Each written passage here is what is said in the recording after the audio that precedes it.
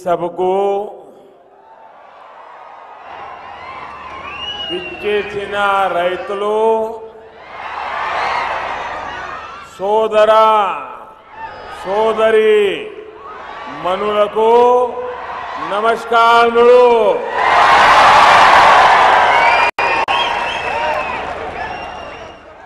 तेलंगाना की governor doctor Tamilisai Soundararajan ji, केंद्रीय मंत्रिमंडल में मेरे सहयोगी श्री किशन रेड्डी जी, भगवंत खुबा जी, संसद में मेरे साथी, पंडित संजय कुमार जी,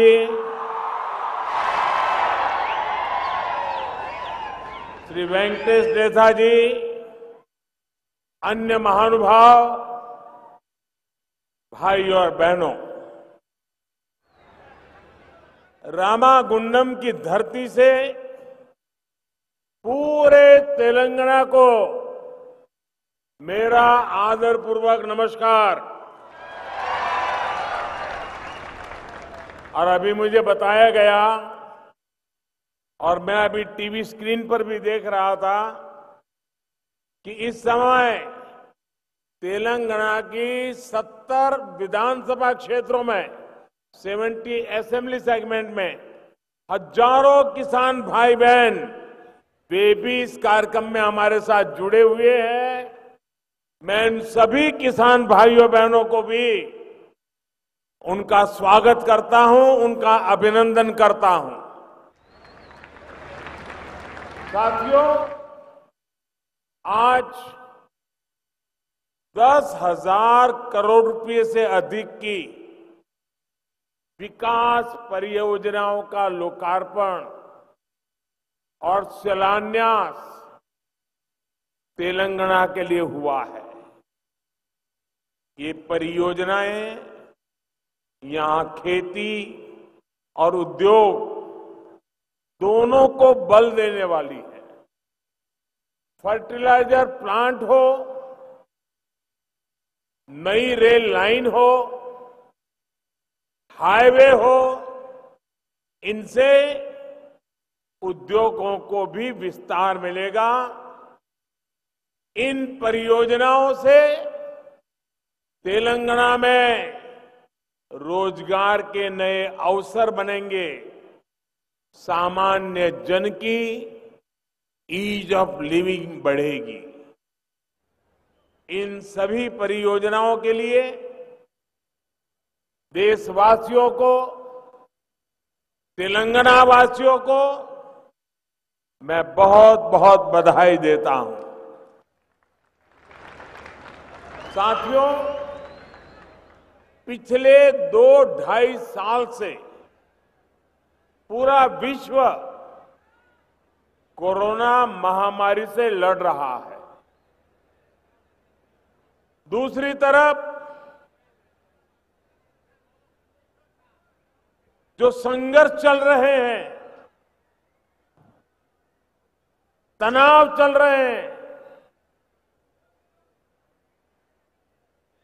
मिलिट्री एक्शन हो रहे हैं, उसका परिणाम भी, उसका प्रभाव भी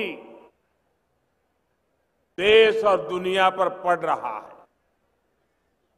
लेकिन इन विपरीत परिस्थितियों के बीच आप, आज हम सभी पूरी दुनिया में एक और बात प्रमुखता से सुन रहे हैं।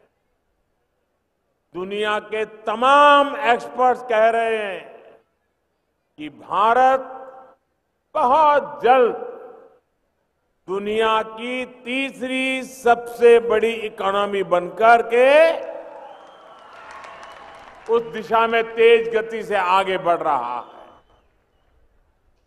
सभी एक्सपर्ट ये भी कह रहे हैं कि जितनी ग्रोथ 90 के बाद 30 साल में हुई, उतनी अब सिर्फ़ कुछ ही वर्षों में होने वाली है। आखिर इतना अभूतपूर्व विश्वास आज दुनिया को, आर्थिक जगत के विद्वानों को, इतना विश्वास आज भारत पर क्यों है? इसका सबसे बड़ा कारण है, भारत में पिछले आठ वर्ष में हुआ बदलाव।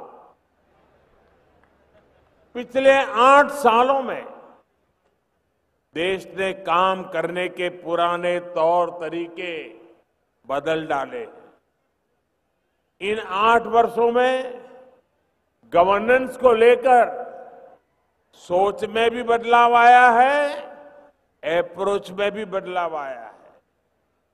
चाहे इंफ्रास्ट्रक्चर हो, चाहे सरकारी प्रक्रियाएँ हो, चाहे ईज ऑफ़ डूइंग बिज़नेस हो, इन बदलावों को प्रेरित कर रही है भारत की एस्पिरेशनल सोसाइटी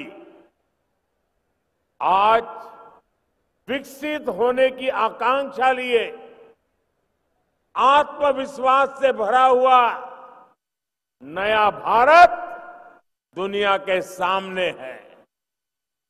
भाइयों और बहनों, विकास हमारे लिए 24 घंटे, सातों दिन 12 महीने और पूरे देश में चलने वाला मिशन है। हम एक प्रोजेक्ट का लोकार्पण करते हैं तो अनेक नए प्रोजेक्ट पर काम करना शुरू कर देते हैं। ये हम आज यहाँ भी देख रहे हैं।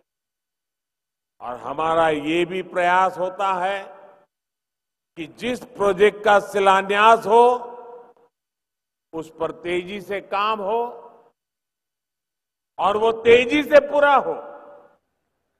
रामागुंडम का ये फर्टिलाइज़र कारखाना, इसका एक उदाहरण है। इस साल 2016 में इसका शिलान्यास किया था और आज इसे राष्ट्र को समर्पित कर दिया गया है। भाई और बहनों 21वीं सदी का भारत बड़े लक्ष्यों को तय करके, उन्हें तेज़ी से प्राप्त करके ही आगे बढ़ सकता है। और आज जब लक्ष्य बड़े होते हैं तो नई पद्धति अपनानी होती है, नई व्यवस्थाएँ बनानी होती है। आज केंद्र सरकार पूरी ईमानदारी से इसी प्रयास में जुटी है। देश का फर्टिलाइज़र सेक्टर भी इसका गवाह बन रहा है।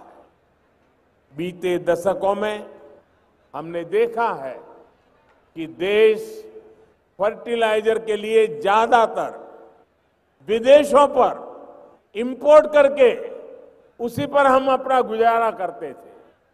यूरिया की डिमांड पूरी करने के लिए जो कारखाने लगे भी थे, वो भी टेक्नोलॉजी पुरानी होने के कारण बंद हो चुके थे।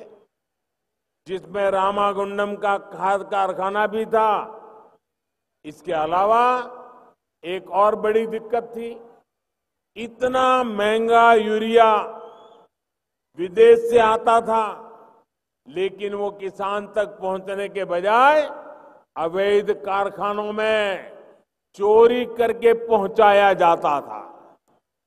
इससे किसानों को यूरिया पाने के लिए रात रात भर कतारों में खड़ा रहना पड़ता था और कई बार लाठियाँ भी झेलनी पड़ती थी। 2014 से पहले हर साल, हर सीज़न में यह समस्या किसानों के सामने आती थी। साथियों 2014 के बाद केंद्र सरकार ने पहला काम ये किया कि यूरिया की शत प्रतिशत नीम कोटिंग कर दी। इससे यूरिया की काला बाजारी रुक गई। केमिकल की फैक्ट्री में जो यूरिया पहुँच जाता था, वो बंद हो गया।